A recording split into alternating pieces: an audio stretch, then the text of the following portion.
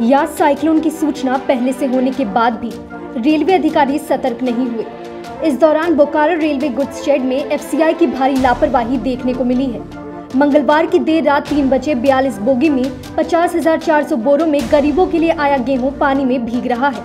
वहीं बोकारो ज़िले में यास चक्रवात का हाई अलर्ट जारी किए जाने के बावजूद पंजाब से गेहूँ बोकारो भेजा गया। वहीं मौके पर एफसीआई का कोई भी अधिकारी मौजूद नहीं था। इस तरह की लापरवाही की जानकारी मिलते ही जब हमारे संवाददाता मौके पर पहुँचे तो उन्होंने देखा कि सरकार के द्वारा गरीबों को दिया जाने वाला अनाज खुले आसमान में पानी से भीग रहा है। इस संबंध में जब रेलवे कर्मी एन के दुबे से पूछा गया तो उन्होंने क्या कहा आप भी देखिए। हम लोग स्टेटमेंट नहीं आपका दे, आपको कै कै बजे आया है बताइए ना कै बजे आया है आपको। बताइए। सुने सुने सुने सुने एक मिनट बता दीजिए ना। ये सब बता दीजिए ना। है खाली यही बता दीजिए में से आया है कहाँ से पंजाब? से क्या आया गाड़ी में? गेहूँ। कितना गेहूँ है?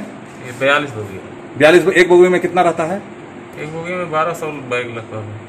वहीं स्थानीय निवासी शुभम मुंडा का क्या कहना है? आइए देखते हैं। इसमें गेहूँ आया है तीन बजे तो मैं देखा कि भींग रहा है तो मैं सोचा कि उच्च अधिकारी को मैं यहाँ पर इतला करूँ कि ये इस तरह का लाखों का माल जो गरीब को मिलने वाला है वो बर्बाद हो रहा है।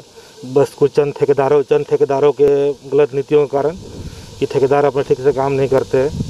कि बाद कोई देखने वाला नहीं है, कोई सुनने वाला नहीं है। लाखों का माल गरीब को एक मतलब गरीब को एक किलो फ्री नहीं मिलता है। पर यहाँ लाखों का धान चावल बर्बाद हो रहा है।